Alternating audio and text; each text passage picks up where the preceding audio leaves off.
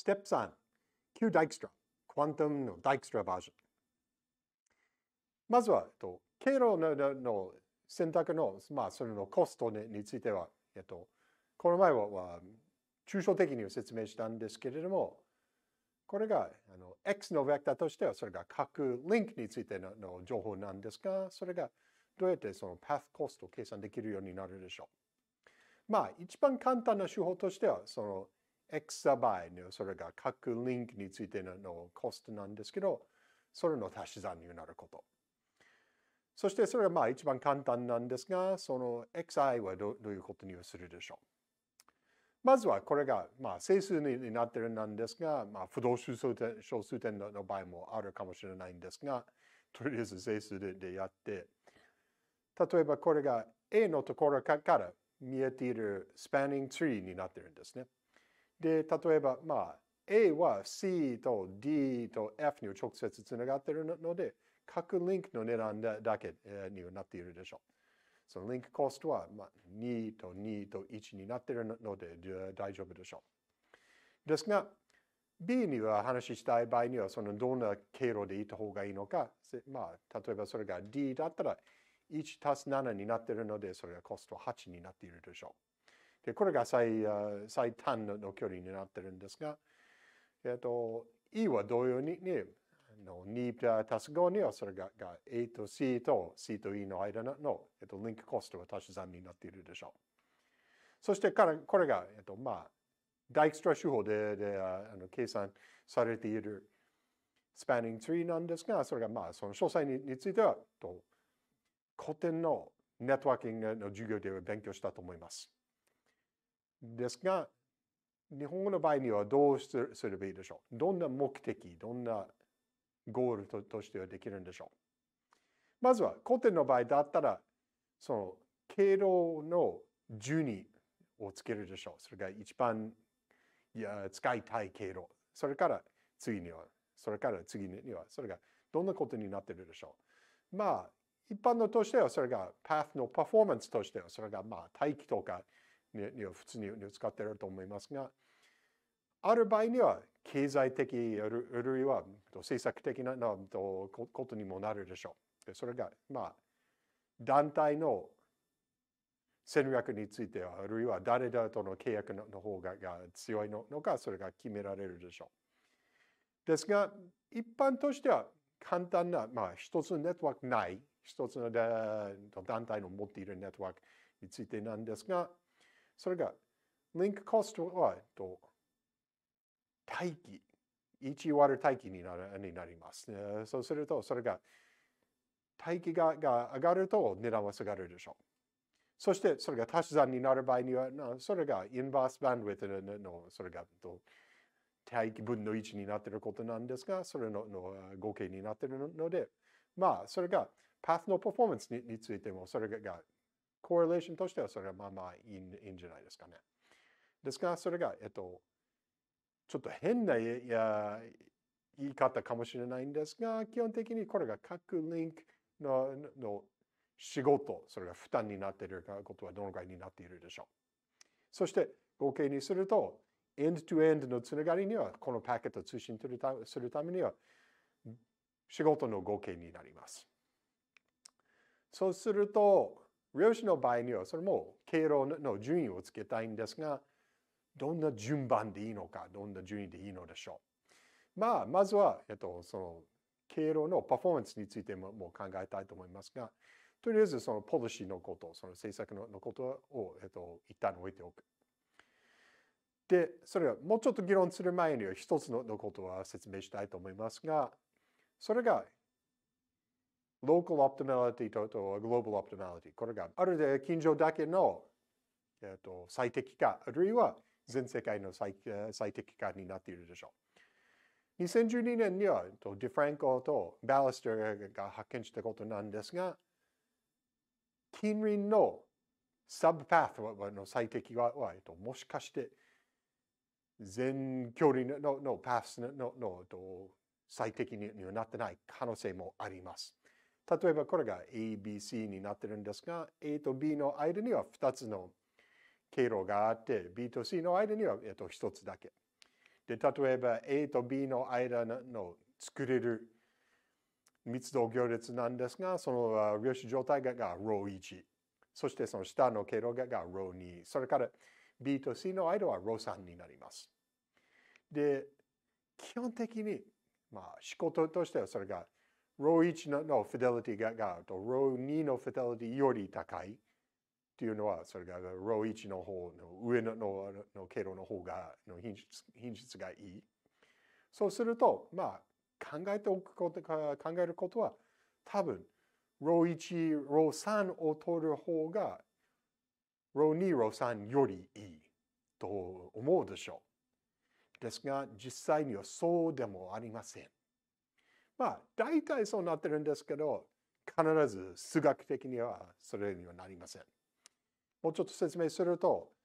まずはそのあのエラーチャンネルについては例えば row ががと bit flip チャンネルを通ると、このぐらいの数式にはなるでしょ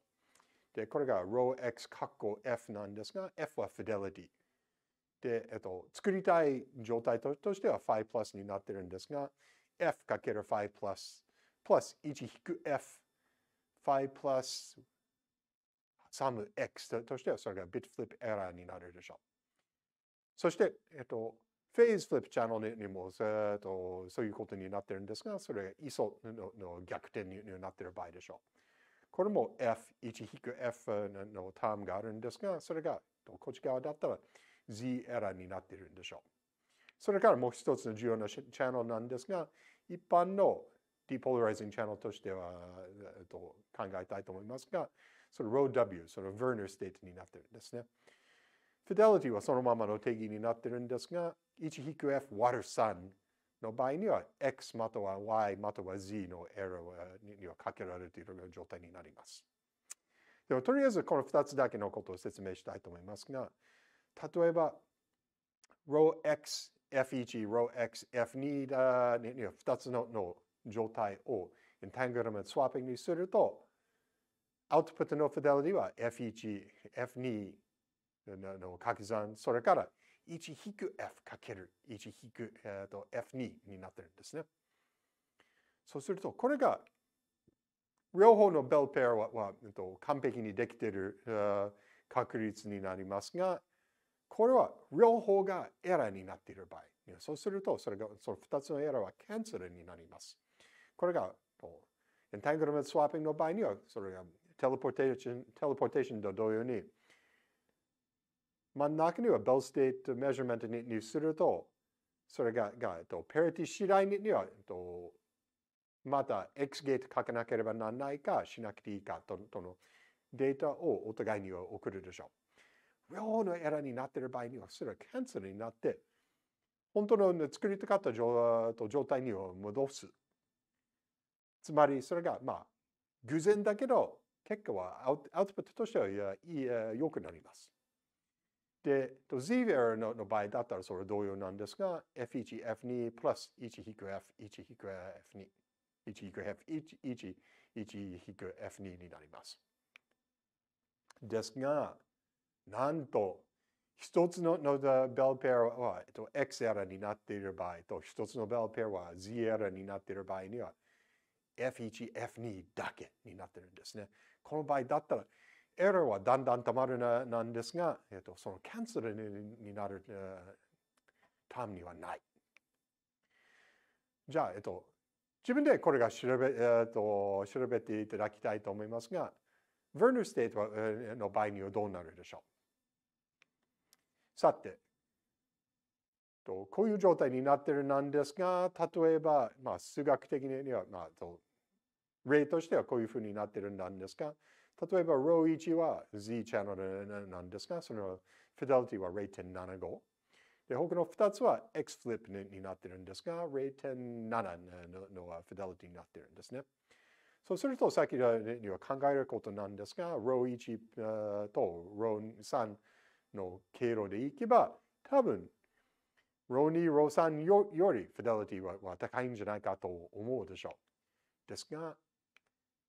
その row 2、row 3の場合だったら、それがアウトプットのフィデリティは0.58になってるんですね。この2つのインプットは0.7になってるので。ですが、ロー1、ロー3だったら、なんと0.525しかならない。これが、ほら、これが差はかなり大きい、大きいなんですよね。それが、結局、それが、そっちの方がいいでしょう。その、あの、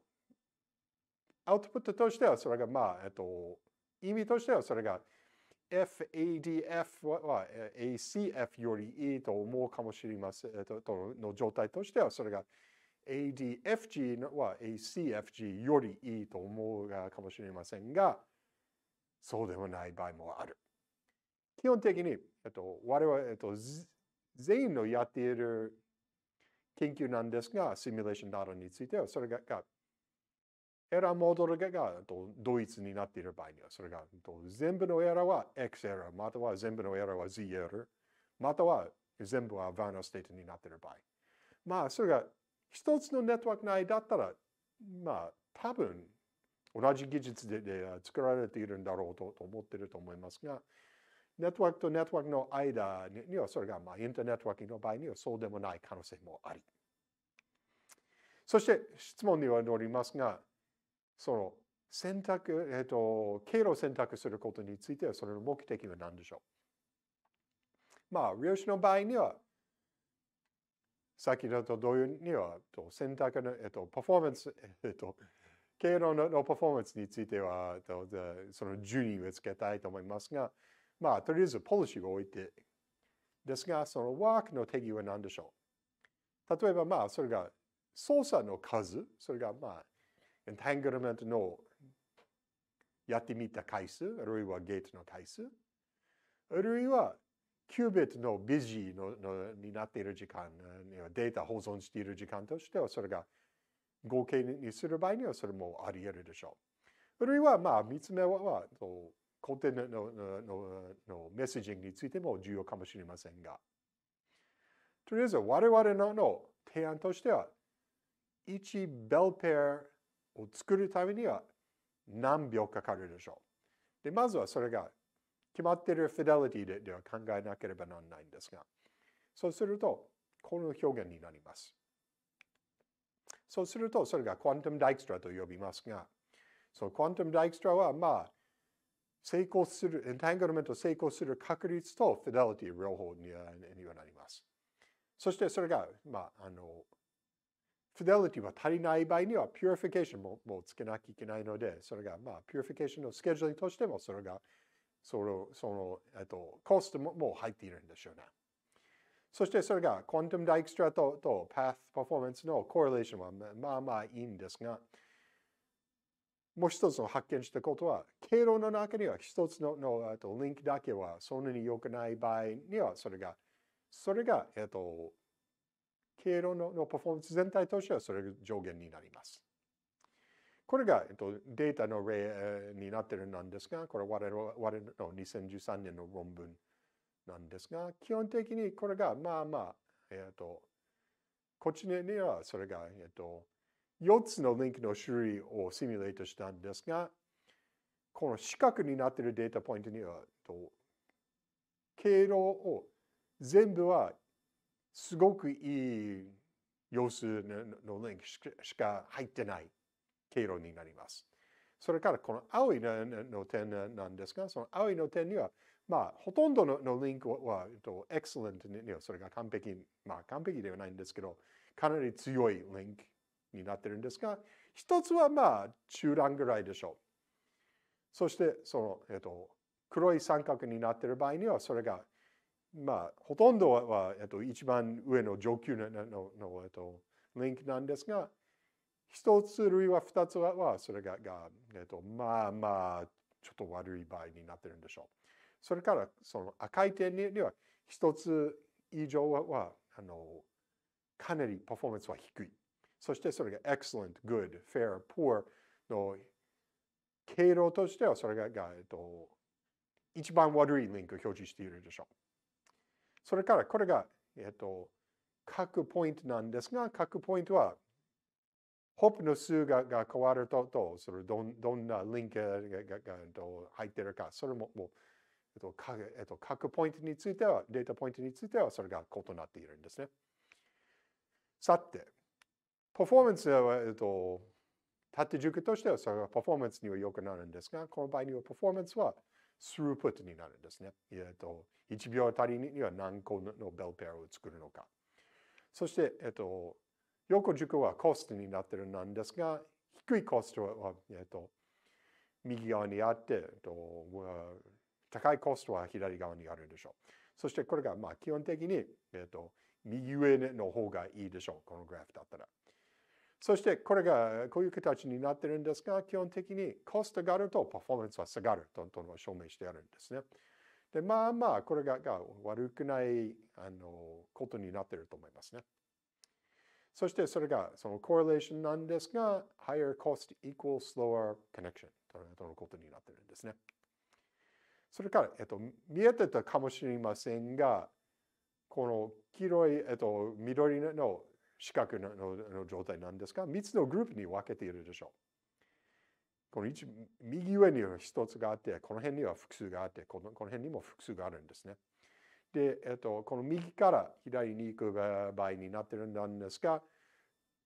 まあ、このデータでではそれがが距離が長くなってしまってるんですが、これが1ホップ、これが2ホップ、これが3ホップ、4ホップなどについてはだんだん増えてくると、まあ、基本的にパフォーマンスは下がりますが、なぜこのグルーピングになっているかというのは、それがまあ段階、えっと、階段のように見えるでしょう。そして、こっちは、えっと、決まっている purification の回数を使ってたんですが、1ホップから2ホップに行くと、 fidelity は下がってしまいましたので、この場合には、えっと、もう一回には purification をしなければならない。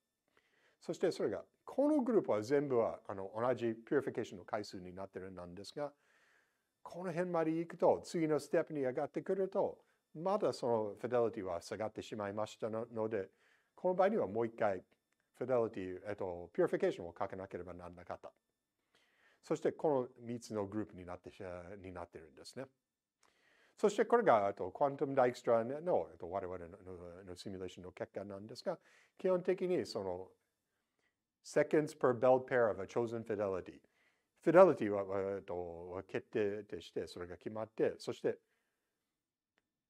purification も入れて、一つのベルペアを作る時間、えー、としてはそれがガップフォ、えっと、リンクのコストになります。